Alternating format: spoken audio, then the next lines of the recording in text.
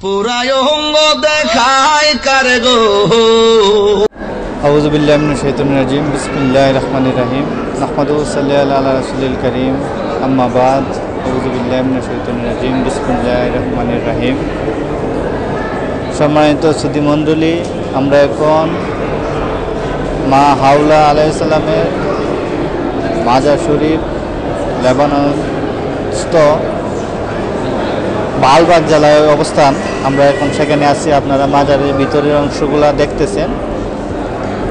আমাদের দেশে একদল কানা মৌলবী আছে যাদের কন নামে খ বলার মতো ক্ষমতা নাই।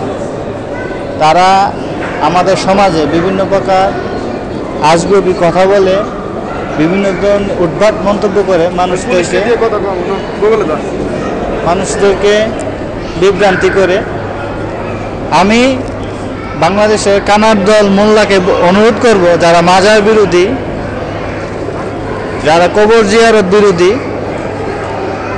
যে সকল আব্দুল আহাব নজদির চেলাপেলারা যারা মাজার জিয়ারত, কবর জিয়ারতকে বেদাত বলে, নাজায়েজ বলে, ওই সকল করব, তোমরা লেবানন আসে দেখে যাও যে মাজার জিয়ারতকে আসলেই কোরআন সুন্না মোতাবেক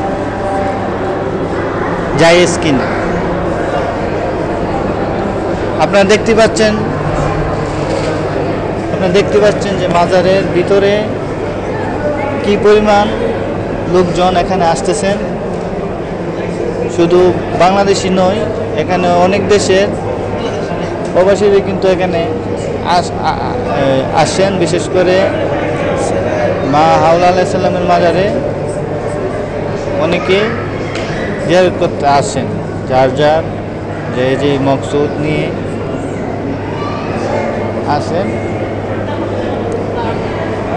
তো কাজেই আমি এই ভিডিওর মাধ্যমে আপনাদেরকে অনুরোধ করব যে ইসলামের সঠিক তথ্য না জেনে আপনারা মন গড়াও তথ্য দিয়ে ইসলামে এটা বেদাত এটা বেদাত বেদাত বেদাত, এটা তুলবেন।